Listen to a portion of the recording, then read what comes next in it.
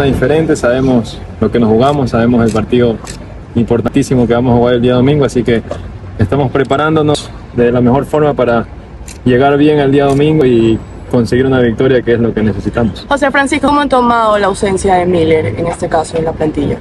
Es una situación difícil, ¿no? Para uno como para como parte del grupo es difícil de opinar, así que pero hacerlo, las personas que tengan que hacerse cargo de esa decisión lo harán.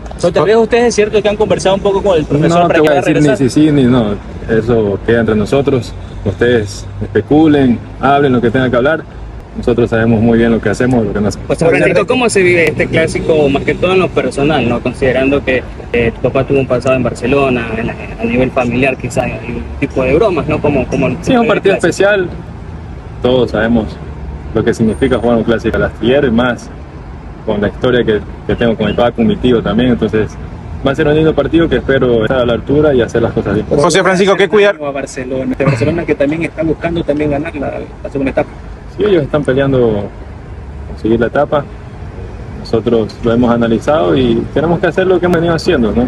A excepción del partido de Guayaquil City, que creo que fue un punto bajo para nosotros, hemos venido jugando partidos interesantes, con buen manejo de balón y eso es lo que tenemos que hacer. José Francisco, en, esta, en estos partidos es importante que la gente acompañe, ¿no? Esperan también ver un capo lleno. Estoy seguro que la gente va a estar acompañada, como siempre lo ha hecho.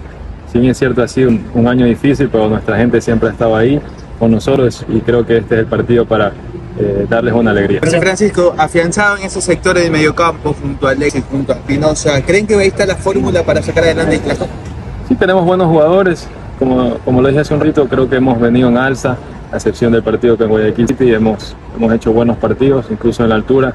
Entonces, eh, esperemos el día domingo estar todos en buena sintonía, con confianza eh, y hacer un buen partido. José Francisco, se le va a hacer ¿cómo- daño a está el- Barcelona? ¿Cómo está el tema contractual? Sabemos que ahora en diciembre eh, se le vence su contrato. No, eso hablaremos después, eso hablaremos después. Ahora estamos enfocados nada más en el día domingo, en un partido más importante que, que tenemos. Eh, esperemos.